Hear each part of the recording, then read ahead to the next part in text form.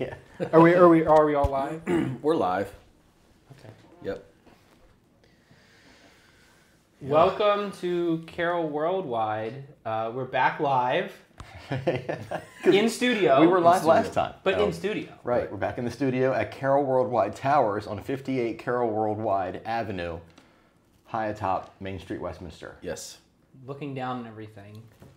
And uh, I noticed that we got some uh, good food today. Who sponsored us, Man. Randy? Our wonderful sponsor today was none other than, by the way, do I look handsome? You look. Do I look dapper? fantastic. I was thinking that. If so, it is because I got my haircut today at the Westminster Barber Shop, Wow. located at the Westminster Town Mall. How many days a week is it open? It is open seven days a week, smoke free. Sorry, Town Mall of Westminster. Yes. Gotta is get that right? You gotta get that right. Do not mess up the name.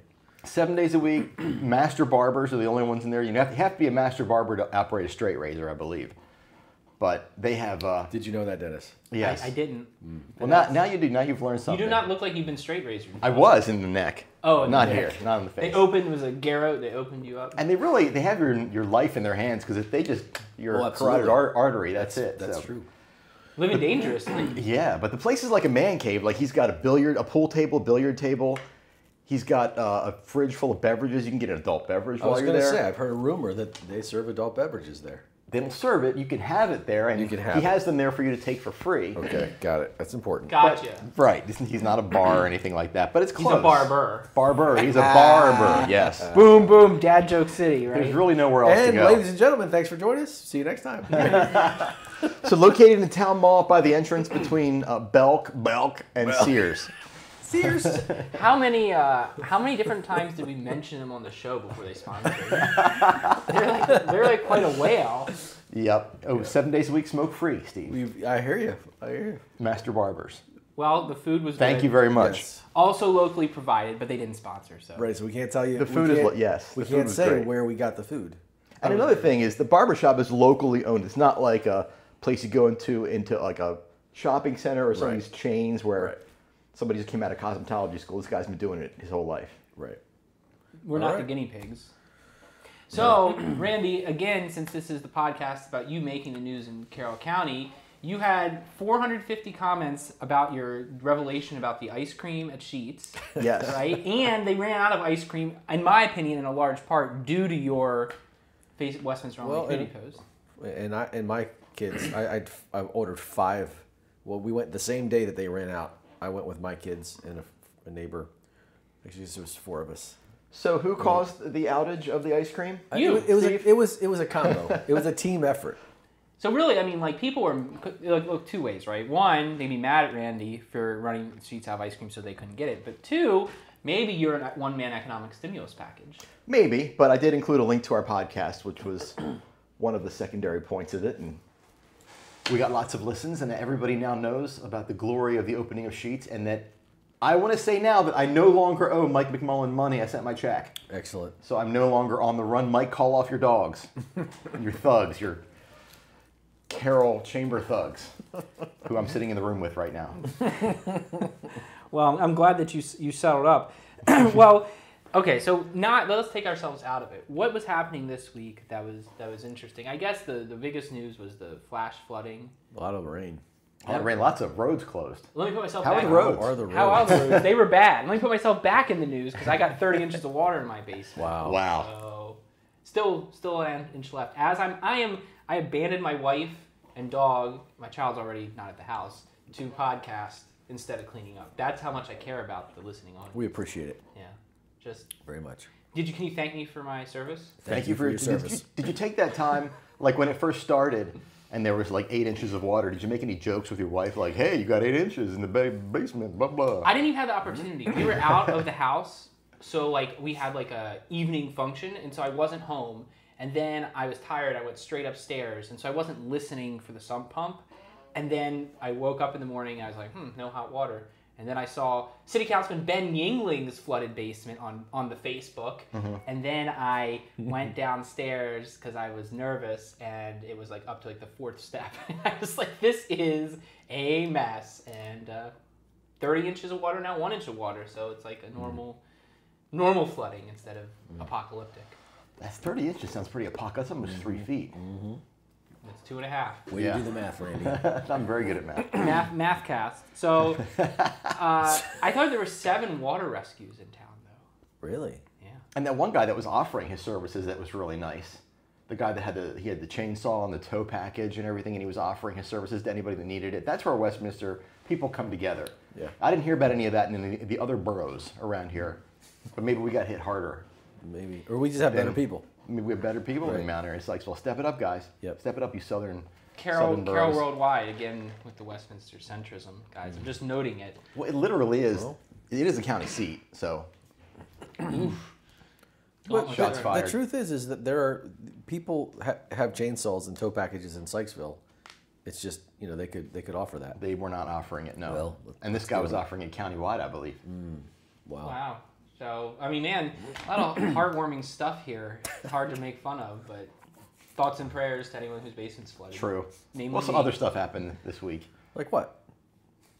Well, there was that thing that you had, had talked about. The what? Dennis. The phones. Yeah. The phones. So there was. Do Um, tell, because I live well, under a rock. You know, you know my number one thesis about Westminster online communities. What do we hate Don't, most? don't don't divulge it yet. What- you know what we hate most, Yes. right?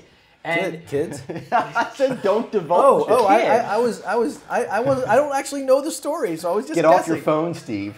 so Pay Steve's actually on us. his laptop. That's a big phone. Yeah. It's a big phone. Get off your laptop. Um, so it was someone that was posting basically saying that kid parents were picking up their kids on their phones, not paying attention to them.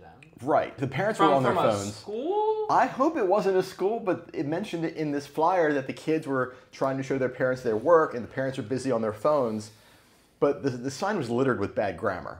So I'm hoping it wasn't the English teacher that was writing Maybe it. it was daycare.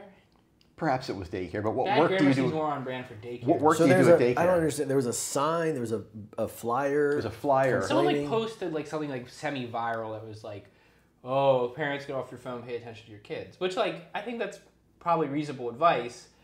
But it was interesting to me because it was like the, one of the few times I've seen people say like, perhaps children's actions are influenced by adult actions, as opposed to our normal thesis, which is like children are born barbarians and we are just at the mercy of their misbehavior, and there's no person on earth who could possibly influence a generational issue.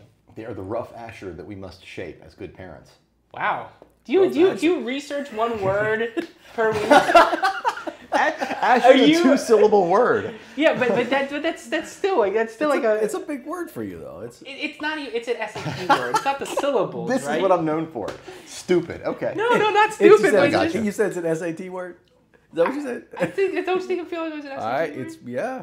I think it is. All right, we'll I- see what you do next week. What you have. We, we did a comedy show for for the uh, Freemasons, and I learned about what they're all about. So the rough Asher is one of their one of their things, Oh, and problematic bread is something. But never mind that. so I have a theory. I think the kids around here need to step it up and be more interesting and stop being so boring because obviously the phones are more interesting than the kids. So That's true. Like Kids- especially kids under six months have to really up their game. Yeah, st- stop with the needing to eat every day and needing love. Uh, Be more interesting. Play hard to get once in a while. You know? yeah. Quit being friend zoned, kids. Step it up. it's up to you to get your parents off the phone. I, I think that's true. It's like, you know, if there's a problem with your parent as a child, you should probably internalize it and feel responsible for all their Own your stuff. yeah, own your stuff, especially especially, you know, mommy daddy problems, right? Mm-hmm. Right on you kids. Yep.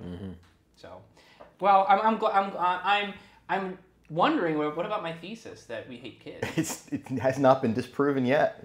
But so were you saying that this post was motivated by people not liking kids? Because No, it seems I like think- they're actually motivated by people like wanting kids to get more attention, which is against my thesis. But what's the ratio? It was one person who wanted kids to have more attention against what the 30 or 40 parents that were showing up on their phones who did not want to give their kids attention. what was it? I only read this one when it first came out. What did like the peanut gallery have to say about it? I didn't read any of that. We don't care. We're the opinion makers. We, yeah, it doesn't matter what they have to say. Uh, what else happened? So we talked about that. Um, someone is moving here. They did a like a, I'm moving to Westminster. Can you give me some advice? Which is like a good reason to have this community. But the thing I found amusing about it, not to hate, was that uh, there was like a lot of questions She asked for recommendations for every single professional service possible out here. Yeah, I think that. I mean, and maybe she's new to the community too, so I'm not like blaming her. But it's like one of those things where I like read all that was like, I can't even get through her post. I couldn't either. And and you know, how dare somebody move to our county and say, "Hey, veterans of Westminster, I'm new here. Do work. Tell Yeah. me what to do. Do some work." Yeah, and it looks like she had a lot of comments, so people were to wade into it. But I think it's just like you're better off getting like incrementally. Like one day you ask for your barber, which who would we go to again? Westminster Barbershop, 24 se- not 24 7, seven days a week, smoke free, billiards and beer.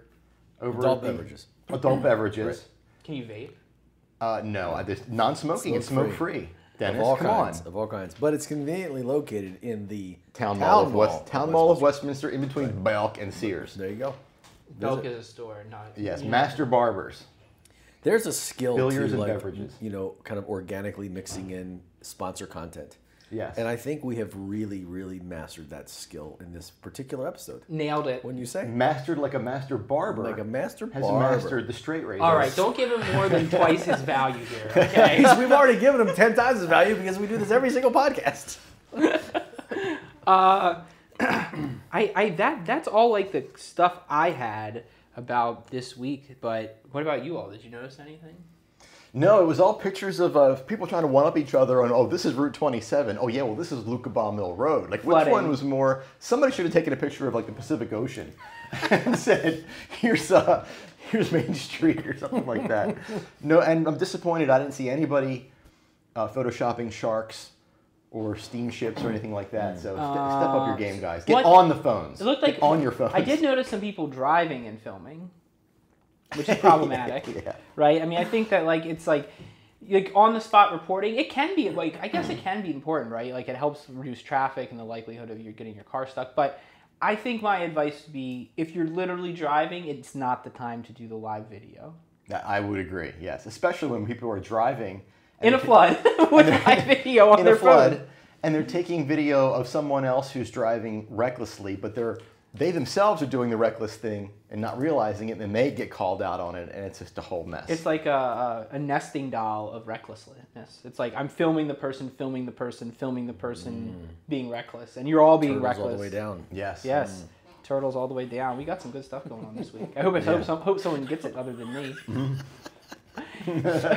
How many minutes in are we? Can I wrap this up? I think so. We're about twelve minutes. Oh, gosh. seconds. Ah, 12 minutes. Nothing good lasts that long, right? No, So, All right, I'm Dennis Twig. I'm Randy Goldstein. and everybody's saying, "Thank God." I'm Steve Lowe.